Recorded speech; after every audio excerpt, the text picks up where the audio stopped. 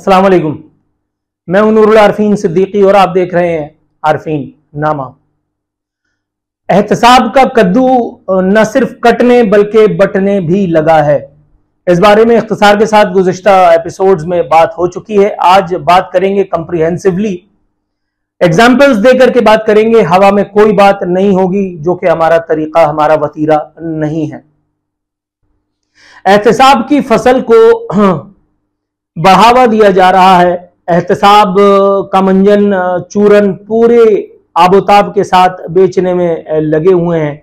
हमारे इदारे भी, हमारा जर खरीद, बिकाऊ मीडिया भी, पेरोल पर लिए गए एंकरान कराम भी बाकायदा इस बारे में चपड़ चपड़ कर रहे हैं। लेकिन इस एहतसाब की जो हकीकत है, मेरा ख्याल है, फवाद हसन फवाद, चाहे वो कितने भी नेक नाम क्यों ना हो उनके निगरान विफाकी वज़ीर बन जाने के बाद ये सारा मामला अब धड़म तख्ता हो ही चुका है। फवाद हसन फवाद इमाम काबा के पोते हों। फवाद हसन फवाद, इस मुल्क के आखिरी अच्छे काबिल दयानतदार, दीनदार, मुत्तकी, न जाने क्या क्या सिफात आप उनकी जात से वाबस्ता करते हैं फवाद हसन फवाद, अगर उनमें तमाम वो खसाइल, जिनके बारे में अभी मैंने बात की बदरजा उत्तम भी पाए जाते हों। उसके बावजूद भी फवाद हसन फवाद का निगरान विफाकी वज़ीर का दर्जा हासिल कर लेना। समझ से बाहर है हजूर।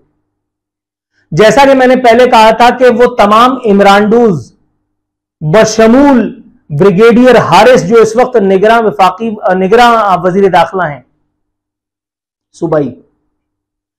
उनको ये कुर्सी, ये ओहदा, ये मनसब, ये प्रोटोकॉल, ये सारी चीज़ों का मिलना, ये हजम नहीं हो रहा हजूर। ये हजम नहीं हो रहा। एक तरफ़ तो आप उस्मान डार को डंडा डोली करके और विगो में फेंकते हैं। एक तरफ़ तो आप क्रैकडाउन करते हैं शेख रशीद के खिलाफ और हमाद अजहर और मुराद सईद जैसे यूथियों के खिलाफ आप क्रैकडाउन करते हैं। आप बताते हैं कि जी ये लोग नौ मई में शामिल थे, फलाना फलाना था, ये सारी चीज़ें थी। मैं ये जानना चाहता हूँ और तफसील के साथ जानना चाहता हूँ कि वो तमाम इमरानडूज चाहे वो ब्रिगेडियर हो, चाहे वो जर्नल हो, चाहे वो जज हो, चाहे वो जर्नलिस्ट हो, इन लोगों में ऐसी कौन सी खास बात है? इनके ऐसे कौन से सुरखाब के पर लगे हुए हैं या इनके नामा अमाल में ऐसी कौन सी नेकियाँ हैं या इनका ऐसा कौन सा मकसद और मसरफ हमारी स्टैब्लिशमेंट ने सोच रखा है कि जो हम कम को, नाकबत अंदेशों को समझ में नहीं आ रही है इस्तेमाल जनाब मन बड़ा चर्चा था गुजशत दिनों एक साहब के एक चैनल खरीदे जाने का। उस पर भी इंशाला ताला बात करेंगे और ऐसी ऐसी तस्वीरें दिखा करके बात करेंगे कि आपका दिल ढिचक ढिचक करने लगेगा, जैसे माधुरी का एक दफ़ा धक धक करने लगा था। कुछ तस्वीरें दिखाऊँगा और ये तस्वीरें आप यकीन कीजिए, मैंने घर पे नहीं बनाई। इमरान खान बुरा है, लेकिन इमरान खान के नाम को लेकर के नौकरी करने वाला अच्छा है ये कैसे हो सकता है? कॉमन सेंस कॉमन सेंस चलो, आरिफ अलवी को हम छोड़ देते हैं इस हवाले से, क्योंकि आरिफ अलवी तो सदर बन गया था, वो आपकी रेंज से बाहर निकल गया था, वो आपका सुप्रीम कमांडर बना दिया गया था फौज पाकिस्तान का। लेकिन एक एमएनए एमएनए की औकात क्या होती है? मेरे प्रोग्राम से एमएनए भागते थे। एमएनए क्या होता है? कितना आदमी होता है? भाई एमएनए की तनख्वाह क्या होती है? एमएनए का क्या प्रोटोकॉल होता है? दो आदमी लेकर के साथ घूमता है जो उसके साथ चमचे होते हैं दो उसके साथ गार्ड होते हैं दैट्स ऑल और वो गार्ड भी अगर वो अफोर्ड कर सकता है तो गाड़ी उसके पास अगर अपनी पहले से अच्छी है या उसने कोई झोलझाल कर ली तो गाड़ी अच्छी हो जाएगी, वरना गाड़ी भी उसके साथ आम ही होती है। क्या होता है एक एमएनए लेकिन जनाब, आज मैं जो आपको चश्मकुशा हकीकत बताने के लिए जा रहा हूँ, उसे तो वो सबका एमएनए भी नहीं झुटला सकते। अभी चर्चा था कि जी, बोल चैनल जो है वो बिक गया, शुएब अहमद शेख को एक सीएनजी रिक्शा खरीद करके दे दिया, अब वो चलाएँगे। लालू खेत से वाटर पंप की सवारियाँ उठाएँगे। अब वो दोबारा कंप्यूटर मेंटेनेंस का काम सोल्जर बाज़ार पे जो कभी किया करते थे, वो दोबारा उसको रिवाइव करेंगे। रिस्क हलाल की तरफ़ दोबारा जाएँगे। हालाँकि अब इन सब बातों का फ़ायदा कोई नहीं है। नई मैनेजमेंट के आने का भी चर्चा था। चलो, वो भी ठीक है। आपने इमरानडू से चैनल को पाक किया। अब एक नई दिशा में, चैनल ने, मुल्क ने सबने मैंने और आपने आगे जाना है। लेकिन वही एक ऐसी तकरूरी हुई है कि जो मैंने अपने आईएसआई में मौजूद सूत्रों से जब कंफर्म की तो वो भी गड़बड़ा गए, वो भी कंफ्यूज आ गए ये एपिसोड बनाने के लिए उन्होंने मुझे मना किया था, लेकिन जैसे ही उन्होंने मना किया, वैसे ही मैंने डन कर दिया कि ये एपिसोड तो बनेगी। जनाब मन एक नाम था एक साहब का नाम चलो नहीं लेता, चलो। यार नाम ले लेता हूँ ऐसी की तैसी। ये आपको जो हज़रत नज़र आ रहे हैं इस एक तस्वीर में ये कैप्टन जमील अहमद खान साहब इनका नाम है।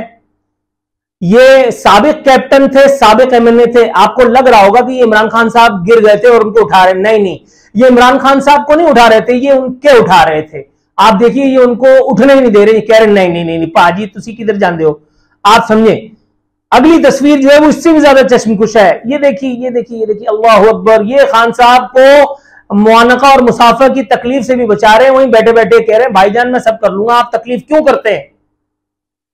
ये देखिए ये देखिए ये देखिए, ओहो, ये सारी तस्वीरें वेबसाइट पे अभी तक अवेलेबल है। ना कैप्टन जमील ने, ना आईसाई ने, ना इमरान खान ने, ना इमरान डोज ने, ना उन लोगों ने जो एहतसाब का चूरन बेच रहे हैं। ये देखिए, ये इमरान खान साहब के सबक M captain Jamil president of Pakistan उस वक्त के और उनके साथ ऐवान सदर में अपनी जो है वो डेंटोनिक का इश्तेहार शूट करवा रहे हैं। ये इमरान खान जब बहसीत वजी अजम ऐवान वजी अजम पर काबिज थे तो कैप्टन जमील जो है, उनके साथ अली जैदी भी खड़े, मैंने उनकी तस्वीर को काट दिया अली जैदी से मुझे इतना इश्क कोई है नहीं। ये देखिए जनाब इमान कैप्टन जमील अहमद खान साहब, ये इमरान खान साहब के साथ उनकी एक और तस्वीर। अब मैं आपको बताता हूँ, ये कैप्टन जमील अहमद खान साहब एमएनए एक्स पीटीआई एमएनए होने के बावजूद इनको बोल का डिप्टी सीईओ लगा दिया है। ओहो, अल्लाह अकबर। कैसे? अब यहाँ यह सवाल था रावी से मेरा कि कैसे? भाईजान, बात यह है कि जिसके नाम के साथ एक बार कैप्टन, मेजर, कर्नल, अर्नल जर्नल टर्नल जितना भी लग गया, वो अपना हो जाता है फिर। वो अपना हो जाता है, वो कितना ही मैला हो, वो कितना ही गंदा हो। लेकिन वो चवनिया ढंगी होती है ना, वो उसको आपको और मुझसे इम्तियाज़ दे देती हैं। उसके नाम अमाल में वो साले के कितने ही मलून हो वो जनरल न्याजी हो लेकिन उसको जब गाड़ते हैं ना ज़मीन में तो उससे पहले टू टू टू टू टू करके उसको गार्ड ऑफ़ ऑनर देते हैं। उसको ये बताते हैं कि अबे मलूम तू चाहे कितना भी रांदा दरगाह है लेकिन तू इन तमाम उल्लू के पट्टों से ये जो चौबीस करोड़ है तू उनसे अलग है क्योंकि तू हमारा अपना है क्योंकि तू हमारा अपना है। आ, तो ये कैप्टन जमील अहमद खान साहब वहाँ से हैंडल होते हैं। इन कैप्टन जमील अहमद खान साहब को पहले एक प्रेस कॉन्फ्रेंस कराई गई। इन्होंने इमरान खान साहब पर लानत भेजने का ऐलान किया। इमरान खान साहब पर लानत भेजने का ऐलान मैं मान लेता, मैं मान लेता। लेकिन मैं आपको यह बता दूँ कि ये कैप्टन जमील अहमद खान साहब कौन है? ये कैप्टन जमील अहमद खान साहब, वो हैं जिन्होंने मूसा गिलानी वाली वीडियो शूट की। मूसा गिलानी वाली वीडियो शूट करके, वो वीडियो लेकर के ये दौड़ते रहे, मुख्तलिफ़ अदालतों में, मुख्तलिफ़ चैनल्स के चक्कर लगाते रहे। इमरान खान साहब ने इनको वज़ीर आज़म हाउस बुलवा करके और उनकी पीठ थपथपाई के शाबाज जवान, क्या काम किया है तूने? और उसके बाद उसके हवाले से पाकिस्तान का सियासी माहौल गर्म होता रहा एक जमाने तक। वो वीडियो स्कैंडल जिसमें मूसा गिलानी को इन्होंने कुछ रिश्वत देते हुए कुछ लोगों को साबित किया था और उन्होंने बताया। कैप्टन जमील अहमद खान साहब ने खुद अपनी मनमोनी ज़ुबान से बताया कि देखिए, इस वक्त माहौल क्या है, पीपल्स पार्टी अवाम के साथ क्या कर रही है और इसका कोई नोटिस लेने वाला नहीं है। ये कैप्टन जमील वो कैप्टन जमील है। ये कोई आम आदमी नहीं है भाई। इमरान खान साहब के उठाने वाले बहुत सारे थे। ये एक अकेला आदमी थोड़ी था बेचारा। लेकिन लेकिन लेकिन चूँकि इसकी मार्फत का इनकी ताल्लुक का एक दरवाज़ा इधर खुलता है सेक्टर कमांडर ऑफ़िस में। इनका जो शिजरा नसब है, वो ब्लडी सिविलियन से नहीं मिलता, बल्कि मुकदस इलाके में मिलता है। ये मलिर कैंट के रिहायशी हैं, ऐसी की तैसी आपकी। आप होंगे कोई? आप होंगे, आप मुजाफात में आप भी रहते होंगे, ठीक है। आप होंगे देश प्रेमी, ओके। आपने देश के लिए बहुत बड़े बड़े कांड किए होंगे, ओके। लेकिन आप कैप्टन है? नो आप फौजी है नो आपको चपरासी और चौकीदार भी नहीं बनने देंगे। कैप्टन अगर है और अगर हमारे कहने को मानता है तो उसको हम प्लांट कर देंगे एक चैनल में डिप्टी सीईओ बना करके ताकि चैनल के ऊपर हमारी अपनी ग्रिप रहे। भाई, मैं ये पूछना चाह रहा हूँ कि ठीक है, ये आपका इस्तेकाक है। आप पाकिस्तान का एक कौमी इदारा है। इंटेलिजेंस आपका काम है, सारी चीज़ें ठीक है। इस काम के लिए तो आपने बहुत सारे लोगों को ऑन बोर्ड लिया हुआ है। तो फिर डिप्टी सीईओ नहीं समझ में आ रहा। डिप्टी सीईओ क्यों? सीईओ हो सकता था आ, कोई और हो सकता था कोई सीईओ के इधर उधर का कोई आदमी हो सकता था। अच्छा फाइनेंस में तो आपने अपना आदमी रख छोड़ा हुआ है बोल में। और बोल में ही क्या? मतलब आज टीवी से लेकर के एक्सप्रेस अब तक इधर उधर कौन सा चैनल है जहाँ आपके आदमी नहीं है? होने भी चाहिए। मैं खुद इस बात के हक में हूँ। होने भी चाहिए ताकि लोगों को अपनी औकात का पता चलता रहे, उनकी इंटेलिजेंस भी होती रहे। साथ साथ आपका वीडियो का धंधा भी चलता रहे, आपकी ऑडियो की रिकॉर्डिंग वगैरह आपके हाथ में आती रहे, फिर आप लोगों को बुला बुला करके आप समझे फिर इस्तेमाल भी तो है ना। लेकिन कहने का मकसद ये कि भाईजान, ये सब क्या हो रहा है? एक तरफ़ तो इमरान खान बुरा है, दूसरी तरफ़ इमरान डूस जो है, उनके मज़े आ रहे हैं इस मुल्क में। एहतसाब का कद्दू काट भी आप रहे हैं अपनी मर्ज़ी से और बांट भी अपनी मर्ज़ी से रहे मतलब अंधा बाटे रेवड़ियाँ अपने अपनों में, ये कौन सा एहतसाब है भैया? निगरा विफाकी वज़ीर बना दिया वो आ, क्या नाम है उसको शुरू में इसका नाम मैंने लिया था? फवाद हसन फवाद को। एक जमाने तक बेचारा जेल की खाक छानता रहा। तो उसके जख्मों के मदावे के लिए आपने ये काम किया? ये क्या हो रहा है इस मुल्क में? मतलब कल आपने कहा था कि इमरान खान और इमरान खान वाले इस मुल्क के लिए नुकसानदेह हैं। नौ मई के ऊपर जिसने भी जो है वो आपके साथ खड़े होकर के नारा मार दिया एक प्रेस कॉन्फ्रेंस कर दिया आपने उसका यकीन कर लिया। आपने उसके पीछे आगे कुछ नहीं देखा। आपने सोचने की जहमत नहीं की कि वो किन किन कामों में मुलविस रहा है। कैप्टन जमील मैं आपको ये बताते हुए खुशी महसूस कर रहा हूँ कि ये मेरे एक्स कोलीग हैं। मेरे साथ एक्सप्रेस न्यूज़ में ये बाकायदा सिक्योरिटी सुपरवाइजर हुआ करते थे उस वक्त। आ, मैं एक्सप्रेस न्यूज़ में सीनियर स्क्रिप्ट राइटर और एसोसिएट प्रोड्यूसर था। हम दोनों अक्सर गपशप लगाया करते थे वहाँ बैठ करके शोगल मेला भी हुआ करता था। आ, उसके बाद फिर कैप्टन जमील साहब से कोई याद अल्लाह नहीं रही मैं कहीं और चला गया ये कहीं और चले गए।